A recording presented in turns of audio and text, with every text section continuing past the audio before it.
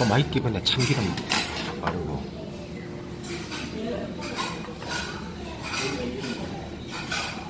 우엉이야? 맛있게 먹어 그러니까 비벼 먹어 엄청 많아. 생면이야? 되게 저기 두껍네 면이.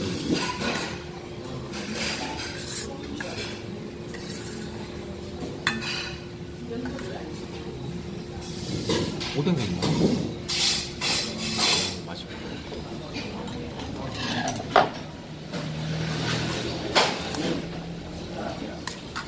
맛있어